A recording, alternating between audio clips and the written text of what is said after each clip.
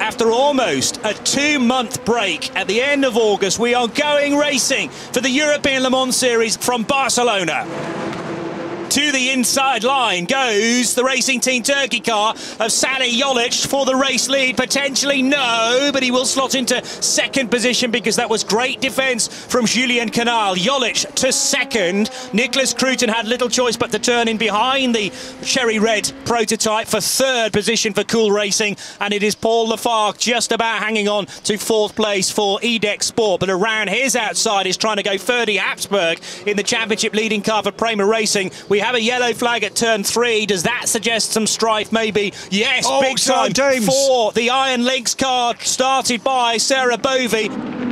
They're going to go car. safety car because not least Sarah Bovy's stranded machine. Now there she is in the pink Ferrari to the inside line of turn two. Did she clash with some prototypes? Oh, the, the prototype moved across on her.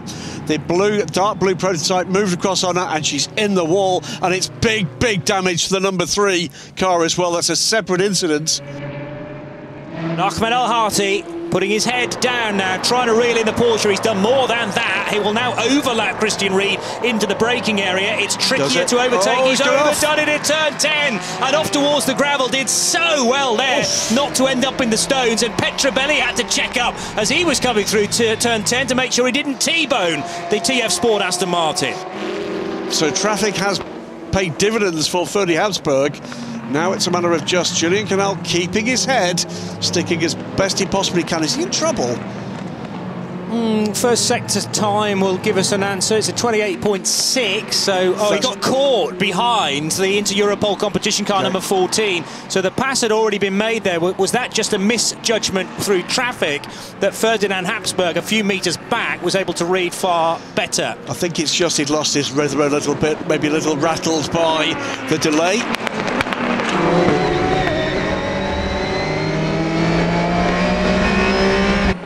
Way through this time, but the pressure is going to allow... It's Petrobelli, sorry, up the inside of El Harthy this time. Is that the position that's going to change? Ferrari and Aston Martin side by side. And the Ferrari's going to get it here, Johnny. Oh. Little bit of a shove to the left as well for the Aston Martin, but that's GT racing at the end of the day. The Ferrari is carrying some damage on the front right corner as well, and they almost exchanged door mirrors there. That is a change for the lead. That is Josh Caygill going through on Charles Crews, and that's all happening with LMP2 cars, in fact the leader closing in on them Petrobelli looking up the inside of Michael Fassbender, the JMW man looking to make progress here. And the, oh, he touches him! Now Disaster! That, that was absolutely, I'm afraid that was on the Ferrari man. Disaster for Petrobelli and for Fassbender, but particularly for the recovering Porsche now, who all of a sudden rejoins the race right in front of Spirit of Race. And Fassbender, I think, sensibly will come down pit road. They damage? can weave this into the strategy theoretically. He's not far off it, is he? Yeah, Proton will he have to be quick to react to this. It might have been he was on an in lap anyway. Pretty aggressively, but that, uh, the way I saw that one, he was nowhere near uh, a gap enough for him to take that move, and uh, that's rather spoiled. The end of Michael Fassbender's stint as side-by-side -side contact between these two battling Ferraris. Round the outside and through goes to 32 in the hands of Diego. And we've got damage for the Ahmed Al Harthy driven Aston Martin, so he is in much, much earlier than expected. Where has that damage come? Big time on the nose of the car. Indeed, and that is going to have to be fixed. And oh, it's trouble for the 28 as well, and that's had an impact. So not that... a lot left of the nose of the 28 IDEC Sport car, and that is buried deep in the gravel. Turn, turn one. one. Now, is that part of the same issue? First significant penalty has been added. It's a five-second penalty added to both the pole-setting car and the 34 for not respecting the position at the start.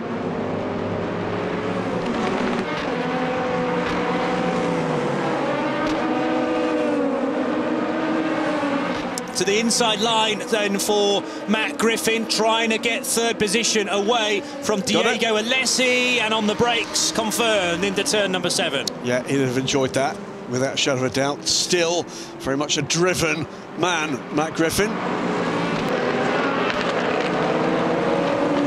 Here comes Jamin to the inside, and Lapierre cannot hold him back, so he's plugging the gap, although Lapierre, the wider line, gives him the better exit out of the corner. Unbelievable stuff there. And Jamin, because he was tight to the white line, couldn't accelerate. They are two abreast now into the chicane. Surely you can't fit all these prototypes through the chicane at once, and no, Jamin had to take to the escape route oh. there, feeds back into third, and a prototype car two from P3 somehow made the pit lane. Absolutely staggering stuff.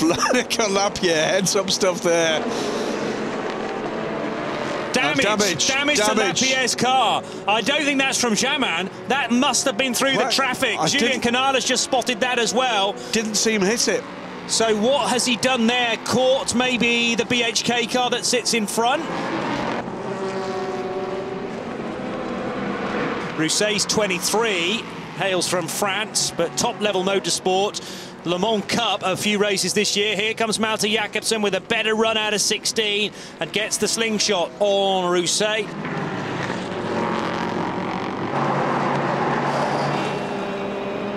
So leader pits with eight seconds the good over the Panis racing car.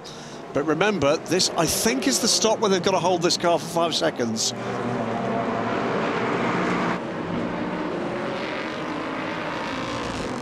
Aitken's got the run on the car in front. He'll now be two abreast. He That's was pretty forceful in qualifying yesterday, and he will get the place under braking as long as he can get it stopped. And up to second position in Pro Am.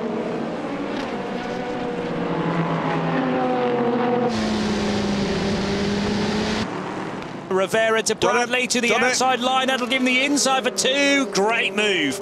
Late on the brakes, round the outside of one, and that delivers you into the apex at turn two. Richard Bradley has no response to that, and it put him out on the marbles.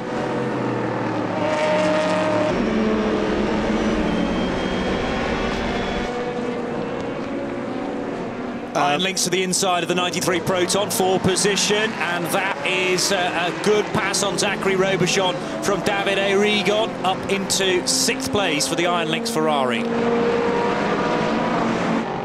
David Perel has been closed in on, caught by Jimmy Bruni. Winner at Le Mans this year, remember, Porsche factory driver knows the Ferraris well back in the 458 era. Certainly looks the inside. Is he going to be able to do, do something about the so there's contact there. It certainly was, and that has uh, shoved the 55 car out of the way. But was the 55 sort of in the middle of the road, not fully committed to the apex or indeed to the outside? Bruni showed the nose. He then tried to get out of the throttle to avoid further contact. And there's the two supporting members, Ferdinand Habsburg on the left and Lorenzo Colombo on the right, raring to go to run across the pit lane and towards the pit wall. They'll be climbing up over the fencing there to cheer the race winner Louis Delétraz home for Prema Racing. So he slots it through out of turn 16 and to win for the third time this year, the fourth race of the European Le Mans Series will go to Prema Racing, to Lorenzo Colombo, Ferdinand Habsburg and Louis Delétraz. Confirmation, Prema coming out on top. The Pro-Am winners in 5th, AF Corse. GT3 winners Inter Europol's car number 13, 17th overall, and in 25th place, Proton claim victory in GTE. Jubilation for the Prema team. All this winning is becoming very habit forming.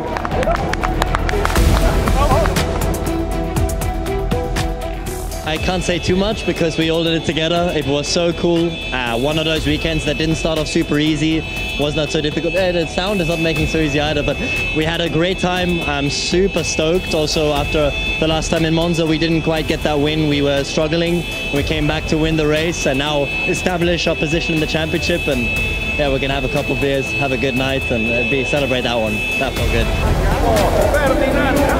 Prema Racing's Lorenzo Colombo, Ferdinand Habsburg, and Louis Delétraz claim victory from Panis with Julien Canal, Job van Uitert, and Nico Jamin.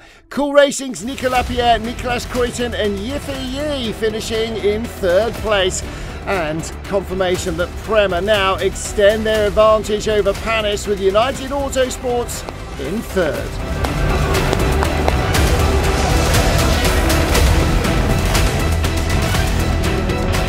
After another strong outing.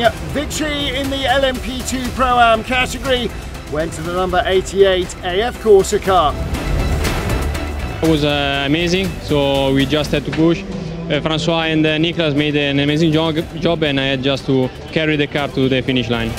Francois Perrodo congratulates his rivals along with Nick Nielsen and Alessio Rovera as they take LMP2 Pro-Am honours ahead of Rodrigo Sales, Matt Bell and Ben Hanley for Nielsen and Algarve Pros John Falb, James Allen and Alexander Peroni. And Racing Team Turkey have now a 10 point advantage over Nielsen with AF Corse coming up fast on the rails.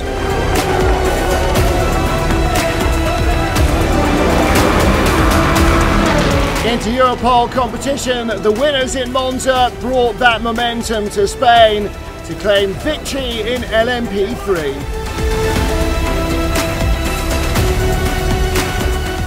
We had the race really, really on, on our ends after the first stint of Charles, where he did a mega job. And uh, Nico just took the car and brought it home, and I just had to do the same. So uh, really happy, and uh, that's two in a row. So uh, we are back in the fight, and uh, hopefully we can grab the championship in Portimao.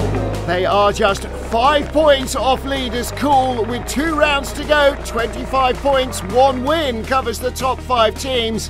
It's all to play for in lmp3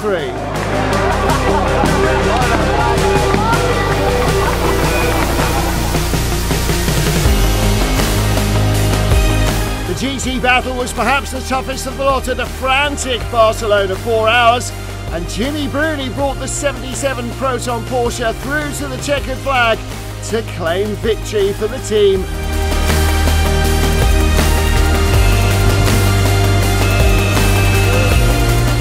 It's really hard in the car and I always had the, the other cars in my mirror so was pushing as much as I can but the car was super super fast and super good. Clean stint, give the car to uh, Lorenzo and then Lorenzo to Jimmy and they did both great and so happy to win the race. Thumbs up from Jimmy Bruni, who with Christian Ried and Lorenzo Ferrari won for Proton competition. Spirit of Race Ferrari crew, Duncan Cameron, Matt Griffin and David Perel finished second ahead of fellow Ferrari drivers Giacomo Petrobelli, Sean Hudspeth and Miguel Molina for JMW. A vital second place for Spirit of Race keeps them very much in the hunt. One point now ahead of Kessel Racing. Two races to go. Proton have the points advantage.